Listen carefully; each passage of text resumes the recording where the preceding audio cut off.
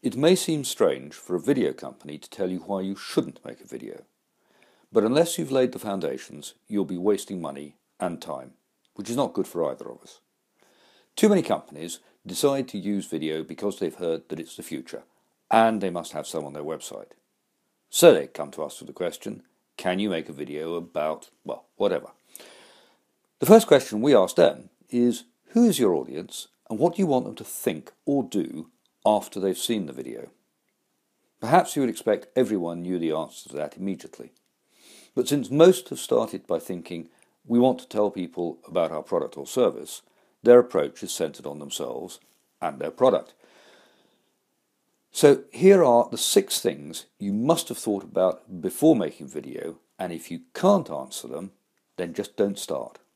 Number one, identify your audience. Any video that is not a piece of self-indulgence must be directed at a specific audience.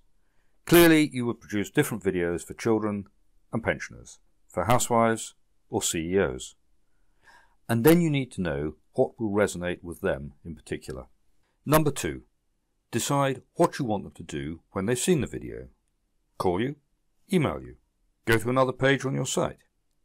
You need them to take action, be that placing an order, making an inquiry, or visiting your website.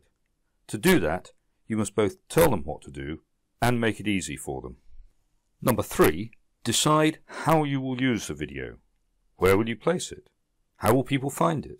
And once they respond, what will you do next? Number four, do you have a video strategy? Do you need a few videos shot with high production values? Or a stream of videos with lower production values? Low production value does not mean low quality.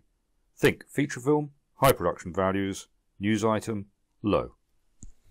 And number five, do you have a clear marketing strategy? Video does not stand on its own. It must be part of the overall strategy, part of a mix that may include email, web, social media, telephone, and face-to-face -face sales. And number six, have you clearly defined your brand? Do you really understand it? What is the promise it makes to your customers? Its USP, what are the emotional and rational reasons for buying from you? Once you have the answers to these questions, you're in a position to start making your video. So what next? You have a couple of options. We can send you a short guide to help you answer these questions, or you can contact me, David Willox, direct, by phone or email. Just follow the links below.